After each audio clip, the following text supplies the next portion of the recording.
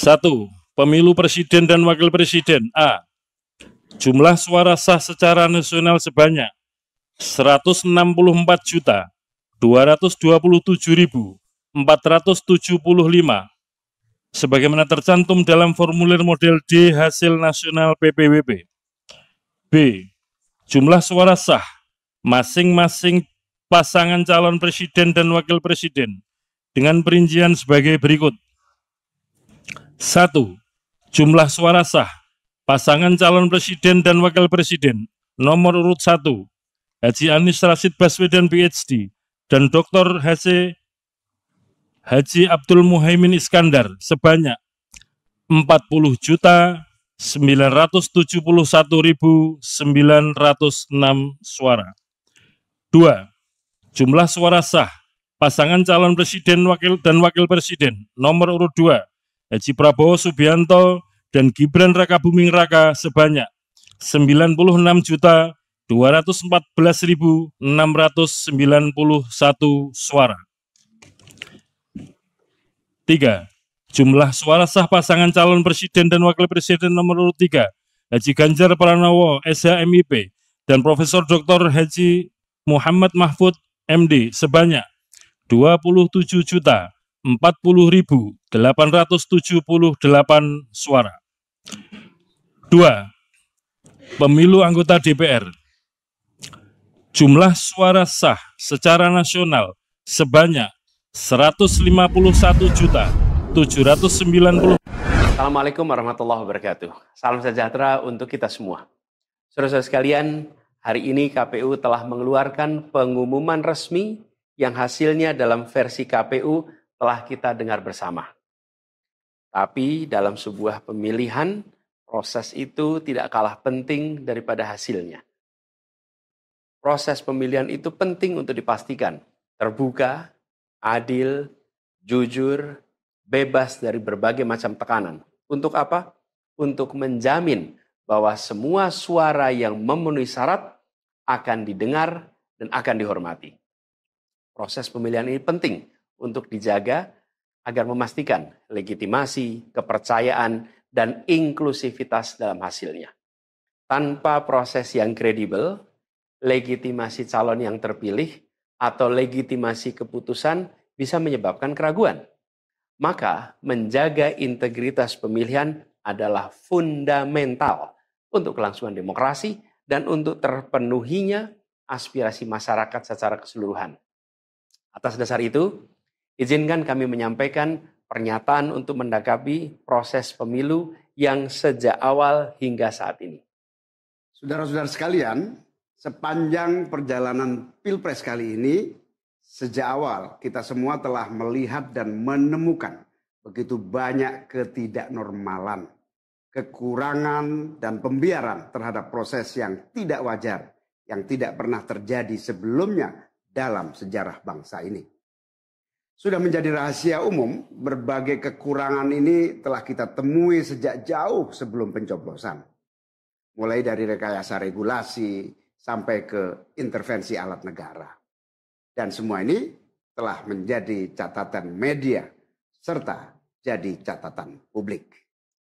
Mas Anies dan saya maju pencalonan sebagai capres dan cawapres ini untuk membawa misi perubahan. Menghadirkan keadilan dan kemakmuran bagi semua. Menegakkan kembali demokrasi dan menunaikan janji-janji reformasi. Dan berdasarkan catatan dari KPU tadi, ada puluhan juta orang yang menitipkan suara kepada kami berdua. Maka demi memperjuangkan suara mereka yang percaya pada perubahan dan tetap teguh hingga akhir, kami memutuskan meminta tim hukum Timnas Amin untuk maju ke Mahkamah Konstitusi dan menyampaikan kepada majelis hakim serta publik luas tentang berbagai kekurangan dan penyimpangan yang telah terjadi selama proses Pilpres kali ini. Terlalu banyak temuan-temuan tentang proses demokrasi yang tidak berintegritas ini yang telah dikumpulkan oleh tim hukum Timnas Amin. Semua ini nanti akan disampaikan oleh tim hukum kepada Mahkamah Konstitusi. Kami mempercayakan sepenuhnya proses ini kepada tim hukum yang dipimpin oleh saudara Ari Yusuf Amir. Dan tentu dikawal dan didukung sepenuhnya oleh tim Amin di bawah kepemimpinan Kapten Muhammad Saugi. Kami menyerukan kepada seluruh relawan dan pendukung, mari kita dukung sepenuhnya tim hukum berjuang di jalan konstitusional yang telah tersedia secara sah. Dan kita semua akan terus menjaga etika demokrasi, menjaga suasana kedamaian dan persatuan. Saudara-saudara sekalian, kepemimpinan yang lahir dari proses yang ternodai dengan penyimpangan, dengan kecurangan, akan menghasilkan rejim yang outputnya nanti, keluarannya nanti adalah kebijakan-kebijakan yang penuh dengan ketidakadilan. Dan ini yang tidak ingin kita temui di Indonesia. Kita tidak ingin ini terjadi. Dalam prinsip negara demokrasi modern, ketika melihat ketidaknormalan, ketika melihat penyimpangan demokrasi, maka langkah yang dilakukan bukanlah marah-marah lalu melakukan agitasi kepada publik, tapi langkah yang dilakukan adalah mengumpulkan semua sinyalemen, semua bukti-bukti untuk kemudian nanti dibawa ke depan hakim, ke depan Mahkamah Konstitusi. Ini ciri pribadi, ciri organisasi, dan ciri negara yang modern, yang matang, yang beradab. Karena itu sejak awal kami katakan, kami tidak akan gegabah. Walaupun kami merasakan sejak masa kampanye sampai pemilihan terlalu banyak ketidaknormalan, penyimpangan yang kami alami.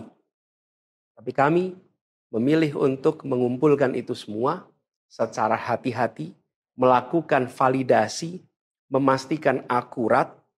Kenapa?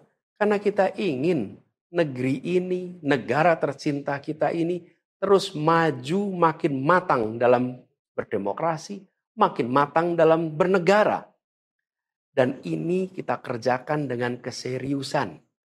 Kita tidak ingin proses demokrasi yang terjadi membuat kita mundur mendekati masa prareformasi.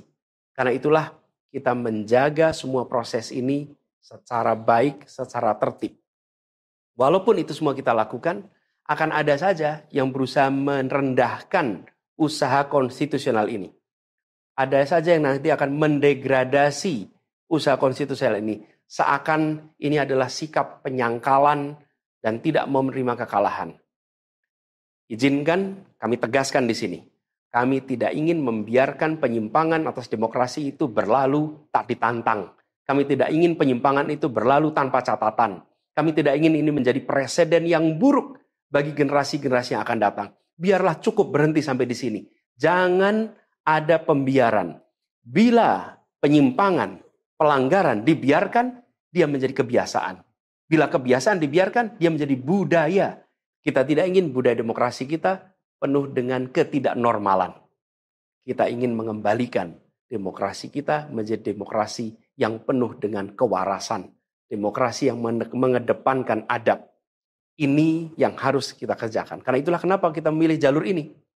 Karena kita ingin agar pengalaman ini nantinya tidak menular. Tidak menular ke mana? Ke pemilihan-pemilihan berikutnya baik pilpres, nanti akan ada ratusan pilkada, akan ada pileg tingkat satu, tingkat dua, yang tidak boleh mengalami yang pernah kita saksikan sama-sama. Walaupun kami sadar kita ini dalam situasi yang tidak normal. Banyak yang menyampaikan kepada kami bahwa kemungkinan untuk bisa mendapatkan keadilan itu kemungkinannya amat kecil. Berbagai pihak mengatakan ini lembaga-lembaga negara yang terkait penyelenggaraan pemilu terkait penyelenggaraan sengketa telah terkooptasi oleh oknum-oknum yang sudah terbukti melanggar etik. Bahkan ada yang ketuanya sudah melanggar kode etik berkali-kali, sudah diberikan sanksi berkali-kali, tapi tetap saja dibiarkan menjalankan perannya.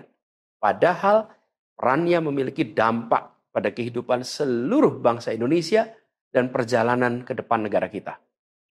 Meskipun kita dengar itu semua, meskipun kita saksikan ketidaknormalan itu, tapi kami tetap memilih berada pada jalan dan jalur konstitusi.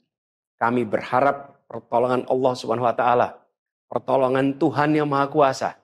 Semoga Allah bukakan, Allah teguhkan hati para hakim konstitusi itu untuk mereka bisa imparsial, untuk mereka memiliki keberanian, untuk mereka mengambil keputusan yang adil, keputusan yang benar, keputusan yang nantinya akan mereka pertanggungjawabkan di hadapan Tuhan yang Maha Kuasa. Keputusan yang akan mereka pertanggungjawabkan di hadapan sejarah perjalanan bangsa Indonesia yang akan dipertanggungjawabkan di depan anak cucu mereka di kemudian hari.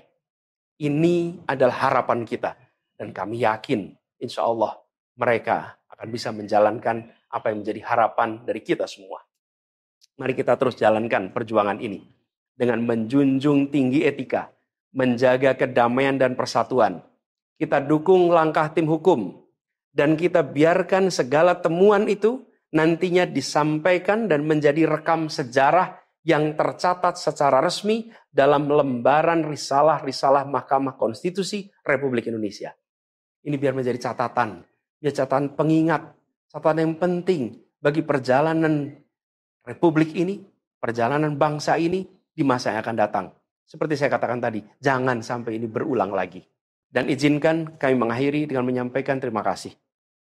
Kami sampaikan terima kasih kepada semua yang telah bekerja keras. Kepada seluruh tim yang telah bekerja sepenuh hati. Dengan luar biasa hingga tuntas. Dan kepada seluruh pendukung, seluruh simpatisan yang tak henti menguatkan kami. Kami juga ingin sampaikan apresiasi atas kepercayaan yang diberikan kepada kami. Dan izinkan kami juga mengirimkan rasa apresiasi kepada orang-orang berintegritas yang ada di dalam penyelenggaraan pemilu. Orang-orang yang memilih untuk menjaga integritasnya, yang tahan dalam tekanan, tak goyang dalam iming-iming, tapi tetap bekerja dengan jujur, dengan berintegritas untuk menghasilkan pemilu yang baik. Terakhir, kami ingin tegaskan sekali lagi, apa pun takdir yang ditetapkan oleh Allah Subhanahu wa taala oleh Tuhan Maha Kuasa nanti kami akan bersama dengan gerakan perubahan. Insya Allah gerakan ini akan terus bergulir membesar ke depan dan membawa perubahan-perubahan yang baik, perubahan-perubahan diperlukan oleh bangsa ini. Terima kasih, salam hormat untuk semua. Semoga Allah Subhanahu wa taala meridhoi perjuangan kita. Assalamualaikum warahmatullahi wabarakatuh.